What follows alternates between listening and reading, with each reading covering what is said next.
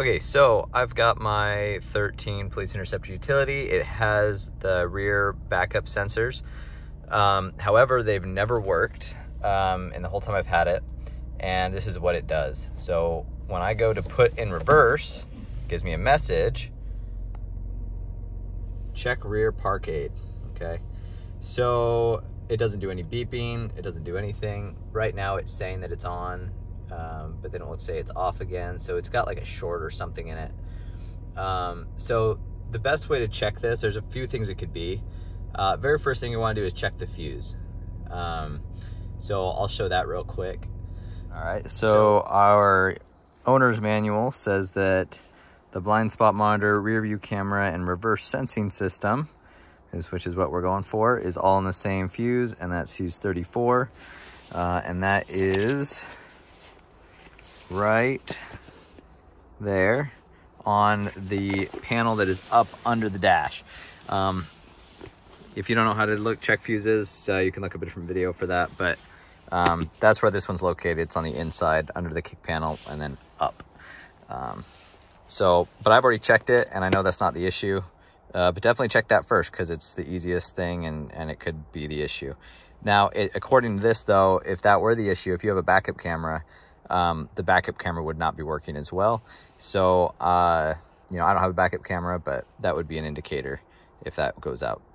So, um, we're going to pop off the bumper and all right so these screws um, are a 5.5 millimeter um, but if you don't have one a 730 seconds uh, also works all right so I already got this all side loosened up so pretty much you take your 5.5 take out these two top screws uh, well you got to take actually all of them out um, so like what five and then underneath here you just pull this back and you uh, put a stubby short 8 millimeter ratchet in there uh, and remove that from that black padding.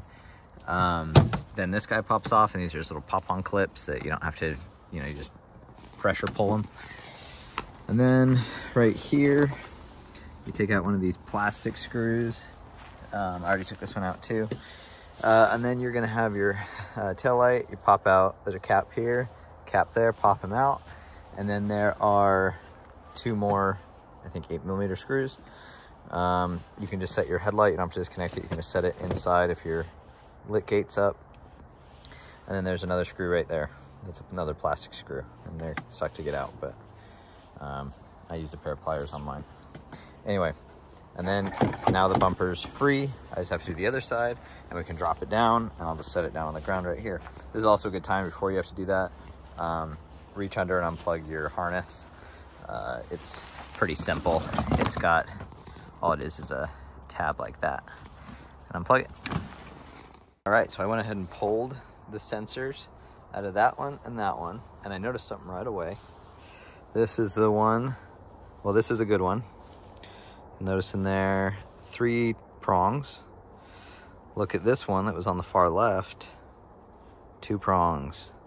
And you probably can't see in there very well. Let me see if I can get it to focus there's a little bit of blue corrosion. There we go. Where right where it snapped off. So this sensor is no good. So what's happening is we're turning on the system and instantly it's detecting that it's not, you know, it's not making contact for one of the three wires. And so what it does is it shuts down your system and it's gonna be shut down until the next cycle where you open your door, close the door, turn the key on, and then it's gonna try over again. But, um, so I was getting an initial beep and then it would say, oh, nope, there's a fault, and it would stop. So I'm gonna check the other two to verify that they also don't have problems, but for sure, this one's getting replaced. I got this harness, that's all it is. Um, I got it on eBay, I think I paid like 30 bucks, so pretty inexpensive. That's the plug for each of the, uh, each of the sensors, and then we've got the main harness right there. Uh, the plug for this is on the rear passenger side, uh, up under the bumper. Um, so it's a pretty easy fix, um, pretty inexpensive too. Uh, now when you're ordering this though, here's the part number for if you just have the four parking sensors. Um, there you go. Uh, there are multiple harnesses. So if you have the auto park, um, that's going to be its own its own harness as well, and it, they're not interchangeable as far as I know. So uh, you're not going to if you have you know just like the one like I have, make sure you're not buying a used harness or something that is uh, meant for uh, automatic parallel park assist. Okay, so, so I got to put it all back together. Um, uh, there's no sensors available in my state up here in Alaska, so it's going to be a few days before I get one shipped up. Um, so here's my old sensor. I went ahead and went forward with changing out the harness um, because I figured, you know, if the terminals are getting corroded like that in the sensor, high chance that um, either there has begun some corrosion or will be soon. I mean, and it was just so caked with dirt that there's a good chance that water seeped in at some point, um, and like mud. So, and you know, it was 30 bucks. So I get a new, new harness. Now, um, the eBay knockoffs I found that I'm gonna be replacing this one with, I wanna say it was like 30 bucks for four. Um, I'm only gonna change out the one, uh, but it'll be nice to have the three on hand.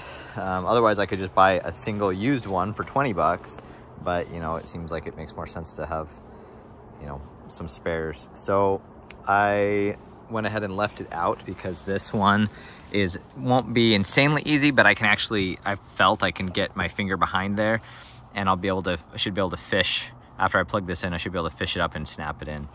Um, so I went ahead and just put everything back together so I can be using it for the next week until it arrives. Uh, okay, our replacement sensors came in. Here's the one I'm gonna replace in there. So I'm just gonna try to fish it up from underneath. All right, got it installed there. Let's test it.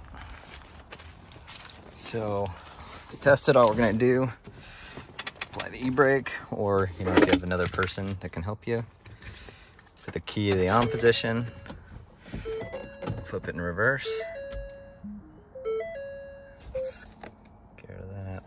Look, I can now have control over turning it off and on, which is a good sign. We didn't have that before. Okay, we're gonna see if we can hear it beeping from back here.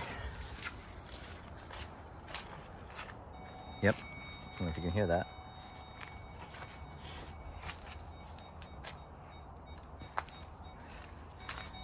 Cool. That's it. That's all there is to troubleshooting these things.